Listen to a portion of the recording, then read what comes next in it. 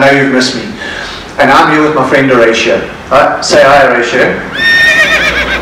Today we're going to be discussing digital trends, digital marketing trends to be exact.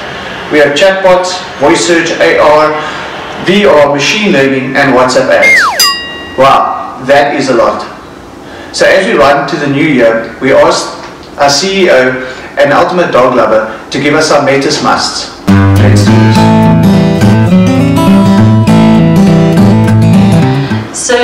Me, um, even though there's so many things that you could be doing in 2019, um, it's good to rather take a look at your foundation and get that in place first.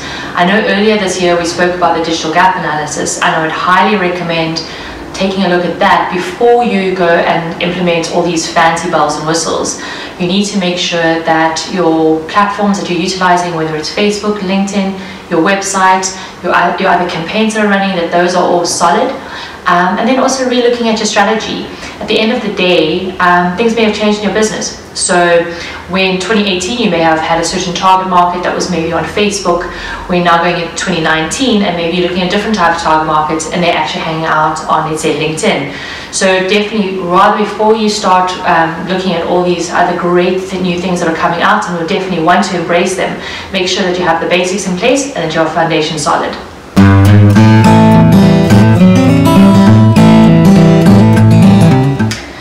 It's a, one of those practice what you preach kind of scenarios.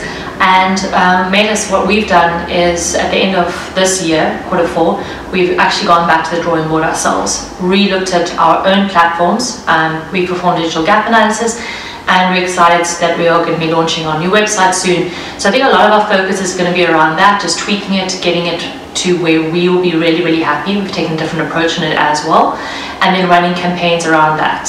Um, another big part is that we've started to really embrace LinkedIn. We want to be taking a look at that a bit further. Um, and then a large part of our focus is going to be seeing what we can automate versus what we would actually need, you know, the human touch on. So that's very much going to be our focus this year.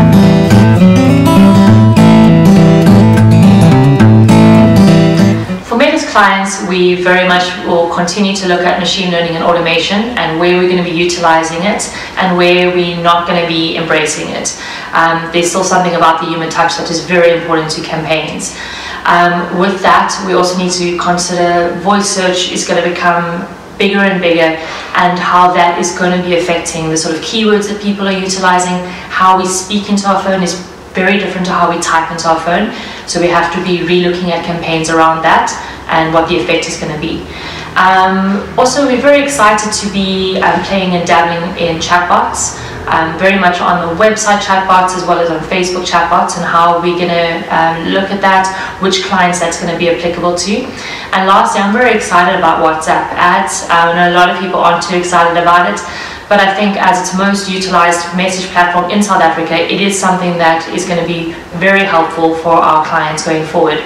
So super stoked about that one coming. Thanks Chantal, that was amazing.